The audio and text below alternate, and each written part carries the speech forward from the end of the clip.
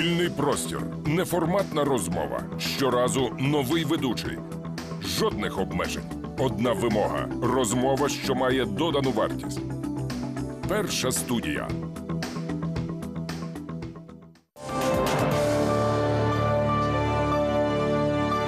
Доброго дня, це перша студія, і я Андрій Юхименко. Сьогодні ми розмовляємо е, з Іваном Міклашем, колишнім фінанс... міністром фінансів е, Словакії, автором словацьких реформ, який визнаний в Європі одним з найкращих реформаторів. А сьогодні він е, радник Міністерства фінансів та Міністерства економіки. Доброго дня. Доброго день.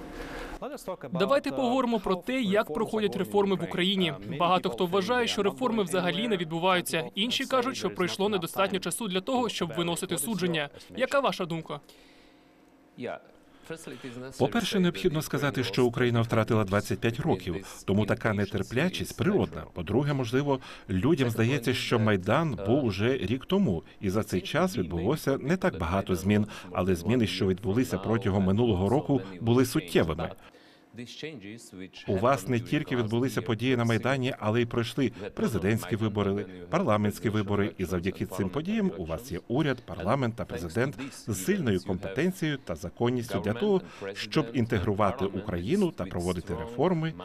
І це дуже важливо.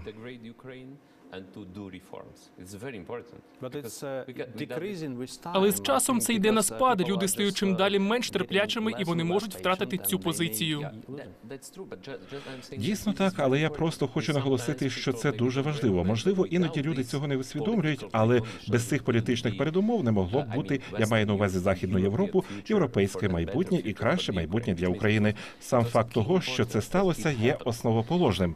Далі, звичайно, проблема полягає в тому, що такі зміни неможливо зробити протягом кількох днів або тижнів. Наприклад, якщо мова йде про податкову реформу, те, що зробив уряд, новий уряд у грудні минулого року та у січні лютому цього року, це були необхідні кроки через консолідацію податково-бюджетної сфери, тому що у вас були величезні борги.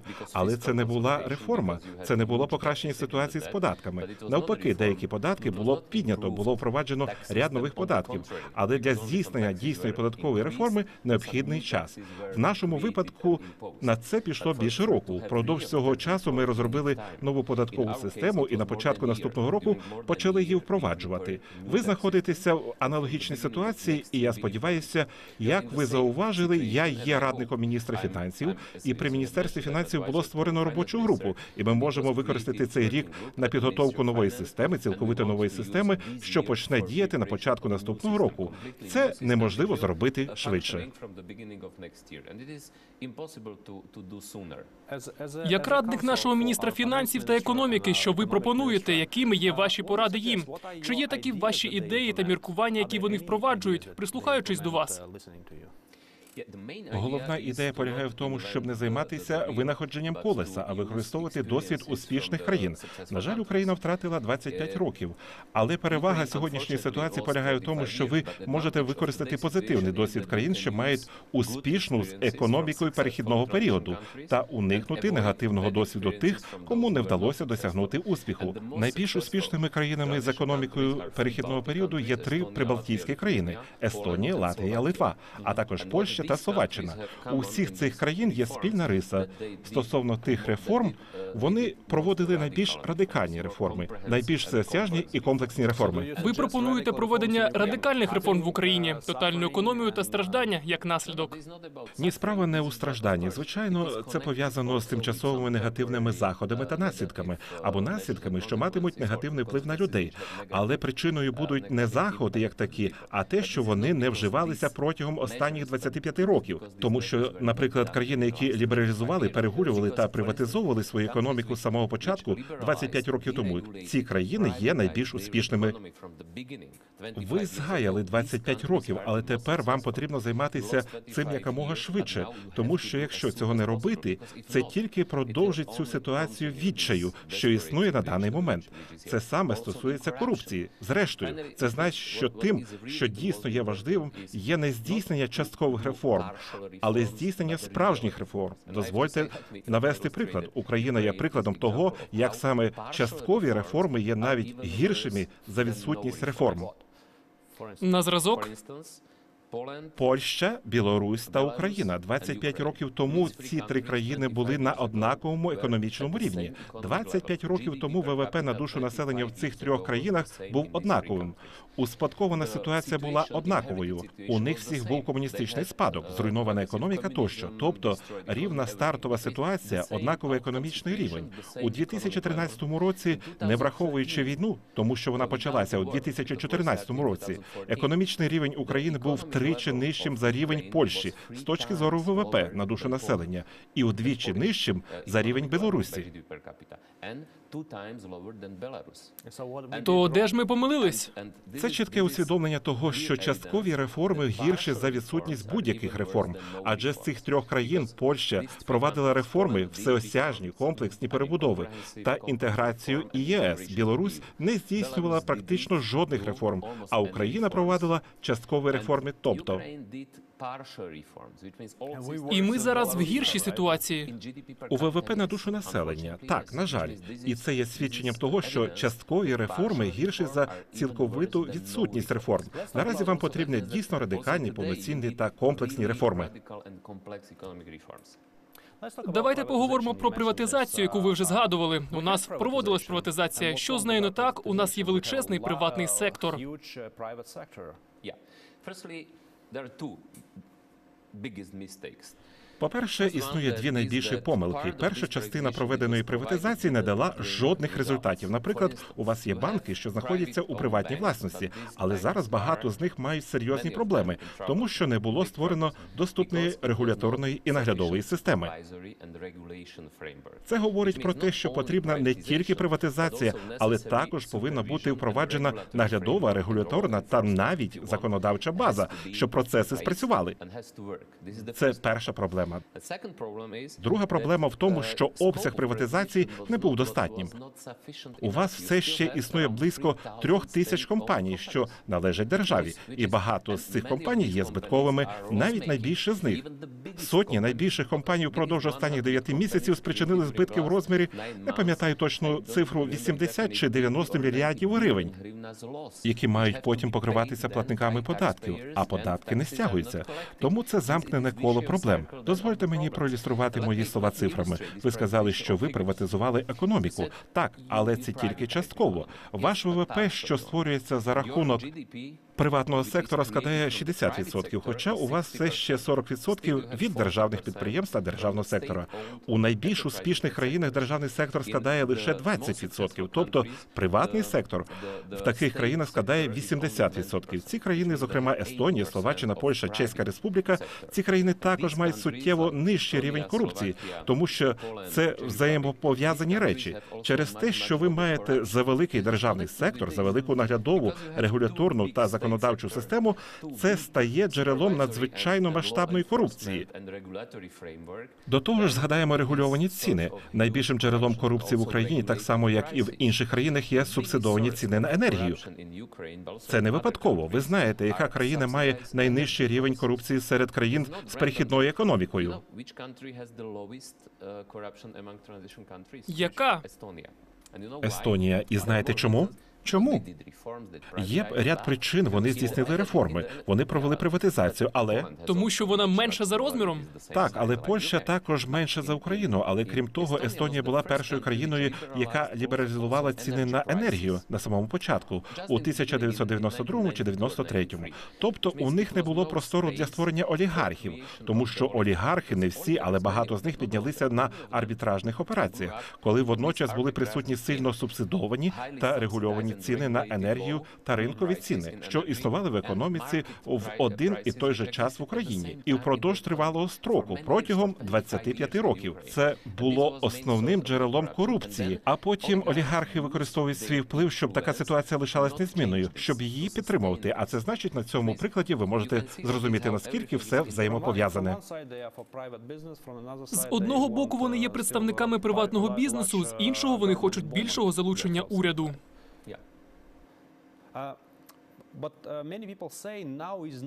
Але багато хто говорить, що зараз не найкращий час для приватизації всієї державної власності, тому що ніхто за неї не заплатить. Інвестиційний клімат не найкращий, ціни будуть низькими. Що робити в такій ситуації? Мушу сказати, що це та сама дилема, яку ми вирішили у Чехословаччині, скажімо, у 1990-му. Ситуація була дуже поганою, нестабільною. Інвестори надзвичайно боялися та дуже обережно ставилися до заходу на ринок. Але це ілюзія, що за рахунок державної власності, тобто державними силами, державним управлінням, можна дійсно суттєво покращити ситуацію, а вже потім приватизовувати. Тобто, я не кажу, що необхідно обов'язково приватизовувати все одразу при низьких цінах. Ні, я не хочу сказати, що ці компанії необхідно розділити на три групи. Це збиткові компанії. У вас є чимало маленьких збиткових компаній, які не функціонують. Вони навіть не існують, не є активними. Їх необхідно ліквідувати і звільнити активи, які прив'язані до таких компаній. Далі є компанії середнього розміру, які ведуть діяльність, але є збитковими. Ці компанії можна продати якомога швидше. Не кажу, що негайно, але після підготовчого процесу для прозорого та конкурентного методу приватизації. І лишаються найбільші компанії, так звані стратегічні компанії. І звичайно, для їх приватизації необхідно найняти радників, щоб підготувати процес міжнародні тендери. Цей підготовчий процес займе рік, іноді навіть більше до півтора року. Звичайно, з огляду на те, що у вас багато таких компаній, необхідно якісь кроки робити негайно, прямо зараз. Необхідно змінити керівництво та накласти нові правила. Я маю на увазі стандартні корпоративні правила управління. Саме цим займається міністр економіки. Все ще існує проблема відсутності голови фонду державного майна. Сподіваюся, призначення буде зроблено впродовж наступних двох тижнів. Тим не менше, міністр економіки готує дуже повну програму покращення корпоративного управління компаній, що знаходяться у державній власності. Зміни керівництва та накладання жорстких бюджетних обмежень та правил. Але це короткострокова стратегія. Її необхідно впроваджувати, але справжнім рішенням є приватизація.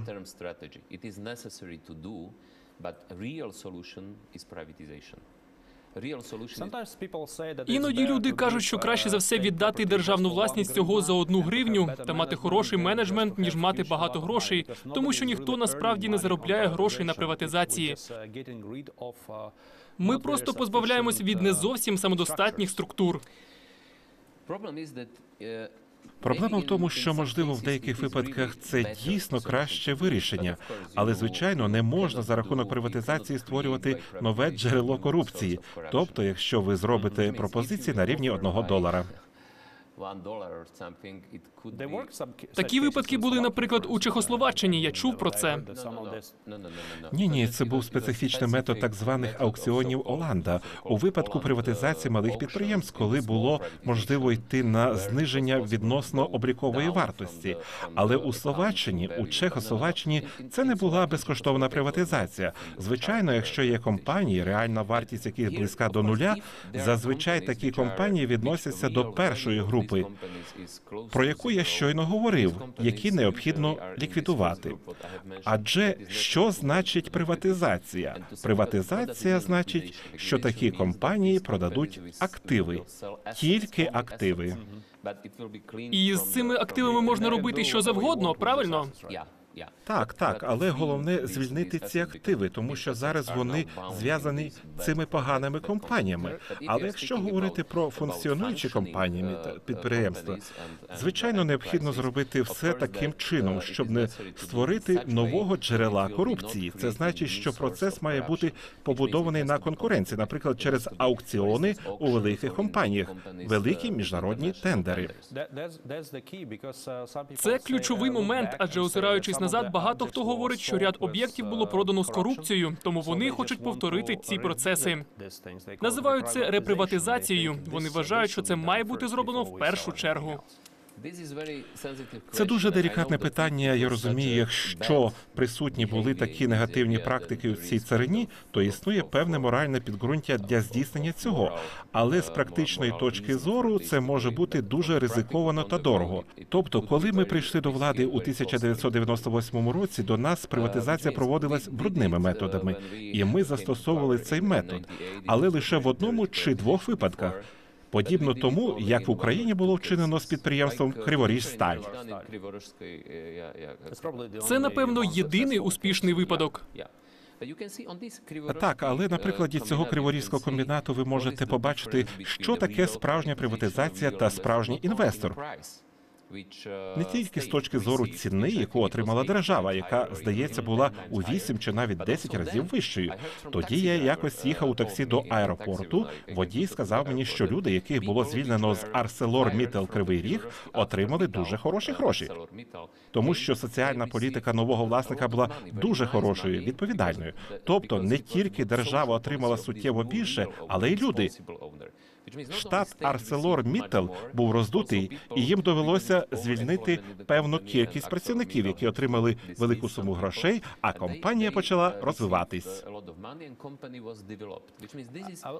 ta- uh, uh, well, uh, uh, Очевидно, що це є правильний підхід, але я б хотів приділити трохи більше уваги структурним реформам. Я мав розмову з of Абромавичусом, міністром економіки, і він каже, що Україні потрібно змістити акценти, тобто насправді не настільки сильно заохочувати великий бізнес, а натомість заохочувати малий та uh, середній бізнес. При цьому політика минулого uh, уряду з цього uh, питання була абсолютно протилежною. Вони стверджували, що їм не потрібен малий бізнес, а потрібно створювати заводи і be фабрики. Які ваші пропозиції з цього приводу? Я погоджуюсь з Айварасом, тому що малий і середній бізнес це хребет здорової економіки у будь-якій країні. Але ж це просто торгівля, вони не виробляють високовартісної продукції. Але е, дозвольте, я закінчу думку, але це не значить, що ми не будемо достатньо розвивати крупний бізнес. Але що це значить? Що є найбільш важливим у цій сфері? Мати однакові якомога кращі умови бізнес-середовища. Якщо буде наявна краща правоохоронна система, якщо буде краща нейтральна податкова система з нижчими податками, якщо буде фінансова стабільність, тобто валюта буде стабільною, фінансовий сектор працюватиме. А це значить, якщо ми зробимо, і це причина, що нам потрібно, що потрібно Україні. Структурні реформи, але також стабілізація макроекономічної сфери. Хочу підкреслити цей момент, тому що люди часто це недооцінюють. Макроекономічна стабілізація виглядає занадто теоретично, надто абстрактно, розумієте? Але що значить макроекономічна стабілізація? Це значить, зокрема, бюджетну стабілізацію, тобто здорові публічні фінанси. Тобто uh, точні цифри, скільки ми збираємо, скільки витрачаємо, це не повинно бути таємницею. І відсутність величезного дефіциту і боргів. Це стосовно консолідації податково-бюджетної сфери. Ще однією важливою складовою цього процесу є відновлення і стабілізація фінансового сектору, що на даний момент відсутнє. Це значить, що якщо публічні фінанси будуть у хорошому стані, буде стабільна валюта, якій довіряють як люди, так і підприємці, без знецінення і так далі. Якщо у вас буде стабільний банківський сектор, тоді у вас буде стабільна ситуація. І ще важливими є структурні реформи. Що це значить? Це, наприклад, податкова реформа, але також пенсійна реформа, реформа соціальної сфери, реформа державної адміністрації, реформа ринку праці і інші подібні реформи. Тоді ви можете бути в цьому впевнені. Обидва напрямки отримають розвиток, в тому числі великі компанії. А у вас багато великих збиткових неефективних підприємств. І у вас погано розвинений малий та середній бізнес. Якщо перераховане буде втілено, я на 100% впевнений, що обидва сектори отримають розвиток, як сектор великих компаній, так і малих та середніх підприємств. Сказане не теоретичні роздуми, це те, що дійсно відбулося на практиці у Естонії та Словаччині. Можете розказати нам подробиці того, як це відбувалося, наприклад, у Словаччині, коли ви побачили перші результати своїх структурних реформ за рік, за два, за три. Як це відбувалося?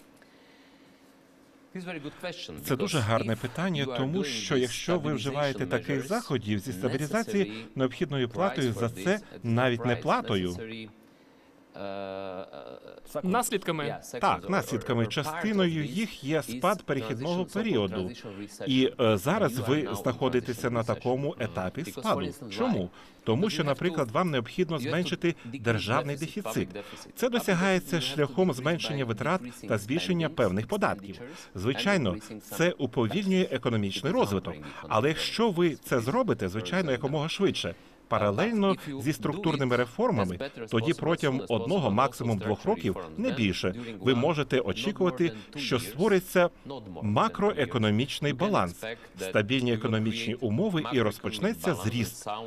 І якщо ці реформи проводяться насправді у повній мірі і комплексно, цей зріст буде не лише короткостроковим, але довгостроковим з високим економічним показниками. Дозвольте мені відповісти на ваше питання стосовно конкретних цифр у Словаччині. так. Тільки кілька прикладів, щоб не набридати людям. Зарплати Після розділу Чехословаччини Словаччина була набагато біднішою за Чехію. ВВП на душу населення був меншим за дві третини, 62% від рівня Чехії на той момент. Зараз ВВП на душу населення в Словаччині такий самий, як у Чехії. Тобто, завдяки реформам, ми виросли набагато швидше ніж чехи. Тобто, ми змогли їх наздогнати. Головною причиною того, що ми були здатні цього досягнути, був конвергентний стрибок за 4 роки. Конвергентний стрибок. Що мається на увазі? Я поясню між 2004 та 2008. Конвергенція це наближення до рівня чехів або західноєвропейських країн. Тобто ми наближаємося до них. Найбільший прогрес, найсуттєвіше зростання у нас відбулося між 2004 та 2008 роками. Для порівняння розвиток Словаччини на той час був конвергенцією із західноєвропейськими країнами, наближенням до їх середнього рівня. ЄС 15 плюс 14%. В той же час у Польщі це було плюс 6%, у Чеській Республіці плюс 3%, а в Угорщині лише плюс 2%. Це значить, що у Словаччині за 4 роки ми дійсно стрибнули. Це був найбільший економічний зріст на той час у всій Європі. Чому? Тому що у 2003 році ми підготували та впровадили пакет структурних реформ. Крім того, у 2003 році була також підготовлена податкова реформа, яка почала діяти у 2004 році. Податкова реформа. Можливо, як радник нашого уряду, ви можете сказати, що відбувається з податковою реформою. Всі цікавляться, де ж ця податкова реформа. Податкова реформа в процесі підготовки. Тобто, поки що у нас не відбувається жодної реформи податкової системи. Ні, я вже сказав на початку. У вас було багато вжито заходів. Це було зроблено урядом у грудні, потім у січні і у лютому. Деякі податки було збільшено. Було введено ряд нових податків, але це не була податкова реформа. Це були необхідні рятівні заходи для того, щоб трохи зменшити дефіцит, який був величезним. Це було необхідно для стабілізації ситуації, щоб надати гарантії міжнародним фінансовим організаціям та, наприклад, отримати від них позики, спрямовані на стабілізацію. Це не була реформа. Якщо подивитися на ці заходи з точки зору хорошої податкової системи, ці заходи навіть погіршили податкову систему, а не покращили. Саме так всі представники бізнесу кажуть, що ситуація погана. Е, Так і є, але важливо сказати, що було неможливо змінити всю податкову систему за кілька тижнів. Для цього повинен бути використаний поточний рік. І сподіваюся, з початку наступного року в Україні почне діяти справді нова податкова система. Дозвольте пояснити це на одному прикладі моєї країни. Зараз Словаччина посідає перше місце у світі з виробництва автомобілів. Звичайно, мається на увазі приватних легкових автомобілів на душу населення. 25 років тому у Словаччині взагалі не вироблялись автомобілі. У Чеській Республіці так у чеській частині Чехословаччини виробляли шкоду. А Словаччина не виробляла жодних автомобілів. Зараз ми на першому місці у світі. У нас не було спеціальної стратегії, прийнятої урядом, щоб досягнути успіхів у виробництві автомобілів. Тобто для виробництва машин не створювалися спеціальні сприятливі умови. У вас не було такої програми, яку зараз необхідно впровадити в Україні. Е, Ні, але що ми зробили? Ми покращили загальну економічну ситуацію, бізнес-середовище. Наприклад, за рахунок податкової реформи ми скасували податок на дивіденди. Ми суттєво знизили податок на прибуток як для компаній, так і для фізичних осіб. Ми очистили та зробили нейтральну систему, покращили бізнес-клімат. Саме це стало причиною того, що інвестори зайшли у Словаччину. Вони хотіли прийти в якусь іншу країну Центральної Європи. Ми змагалися з Польщею, Чеською Республікою, Угорщиною, і ми отримали цих інвесторів. Kia, Hyundai, Peugeot, Citroën зрештою вирішили прийти у Словаччину. Чому у порівнянні у нас були однакові умови? Ми вступили до ЄС в один і той же час однією групою. Але завдяки тим реформам, які ми впровадили до того, у Словаччини було набагато краще бізнес-середовище. Звучить резонно, але здається, в поточній ситуації ми стережемо вогонь і намагаємось не допустити великої пожежі. І на мою думку, якщо ми робитимемо все правильно, за півтора-два роки ми зможемо побачити результати. Правильно? Думаю, так. Це дуже слушна думка, тому що багато хто з ким мені доводилося розмовляти, думає так. Добре, вам вдалося реалізувати все в Словаччині, але ваші умови були кращі за наші умови в Україні, тому що у вас той час не було війни. І частково це правда, адже в час, коли ми провадили реформи, був економічний бум на всесвітньому рівні. Величезний глобальний зріст. Це так. Так, Україна зараз перебуває у складніших обставинах, але це не причина для більш повільного процесу реформування. Навпаки, Чим гірша ситуація, тим кращі реформи нам потрібні. Саме так, тим більше реформ вам потрібно зробити більш комплексних, більш радикальних та всеохоплюючих. Це абсолютно точно. Тож, як я розумію, ми на правильному шляху і сподіваюсь, будемо його триматись. На жаль, наш час вибіг. Це була дуже цікава розмова. Дуже дякую, що ви до нас завітали. Дякую. А а я нагадаю, що це була перша студія. Я Андрій Юхименко, і нашим гостем сьогодні був Іван Міклош, радник міністра фінансів та міністра економіки України, найбільш е, видатний реформатор в Європі, як це визнають у європейських країнах. Дякую.